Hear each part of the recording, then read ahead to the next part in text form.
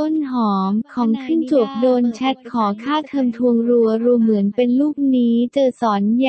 าวๆ ต้นหอมของขึ้นจบโดนแชทขอค่าเทอมทวงรัวรัวเหมือนเป็นลูกนี้เจอสอนยาวๆ ให้หยุดเรียนไปก่อนแฉบางคนติดพนันมาขอให้ช่วยใช้นี่ก็มี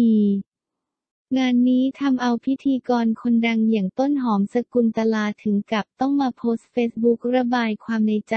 เมื่อโดนเด็กนักเรียนและผู้ปกครองแชททักมาขอยืมเงินจำนวนมาก บางคนหมดเงินไปกับการเล่นพนันออนไลน์ทำให้ต้นหอมต้องออกมาโพสต์ชี้แจงให้กระจ่าง โดยระบุว่าเด็กนักเรียน หรือพ่อแม่ชอบมาขอตังและบอกว่าถ้าไม่มีเงินต้องรอบเรียน ก็อยากบอกว่าไปดรอปถ้าไม่มีเงินก็ต้องหาเงินก่อนค่าส่งข้อความทวงตังเหมือนกูเป็นลูกนี้ ฟังนะคะ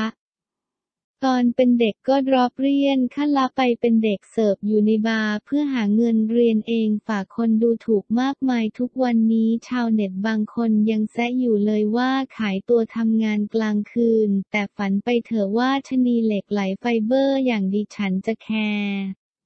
ทำงานดีกว่าแบมือขอเงินคนอื่น ฉะนั้นย้ำอีกครั้งนะไป drop ง่ายกว่ามาขอเงินชาวบ้าน ถึงเวลาไม่มีคือจมให้ลงหยุดรักษาหน้าตัวเองทางสังคมไม่มีคือไม่มีก็ต้องไปทำงานหาเงิน พ่อแม่ไม่มีตังต้องพูดให้ลูกเข้าใจว่าไม่มีคือไม่มีต้องช่วยกันไม่ใช่ spoil ลูก แต่ถ้าอยาก spoil ก็ใช้เงินตัวเอง ดิฉันไม่ได้ทำงานอดตาหลับขับตานอน เพื่อเลี้ยงลูกคนอื่นครอบครัวดิฉันมีต้องดูแลเหมือนกัน บางรายก็พูดกันตรงๆว่าหนูเอาเงินค่าเทอมไปเล่นพนันออนไลน์จนหมดที่ต้องช่วยนะหนูไม่อยากรับเรียนสาขาหนูที่เรียนจะช่วยคนได้ในอนาคตหนูอยากช่วยคนที่ต้องช่วยนะเล่นพนันออนไลน์ ทุกๆการกระทำมีผลลัพธ์ตามมาเสมอดิฉันพูดบ่อยมากในรายการพูดทอกพูดโทรเรียนรู้ดี วันนี้สิ่งที่น้องทำมันมีราคาสูงที่ต้องจ่าย ยิ่งโง่มากยิ่งจ่ายแพงมากนะปัจจุบันมีเด็กติดพนันออนไลน์กันเป็นจำนวนมาก นิทานเรื่องนี้สอนให้รู้ว่า โง่มากจ่ายแพงก็จ่ายไปด้วยอนาคตของหนูค่ะ